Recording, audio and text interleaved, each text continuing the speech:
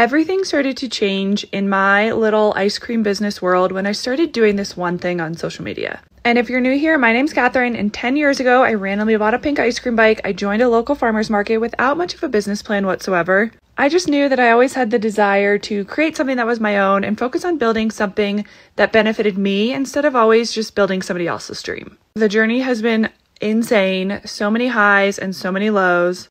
But honestly, that's what's made me into the entrepreneur that I am today, and I'm grateful, so incredibly grateful for all those lessons. But back to the point of this video is when I transitioned my social media to talk more about my story, to focus on creating a personal brand, to let people get to know me as the business owner, and really learn to post as a person instead of posting as a product.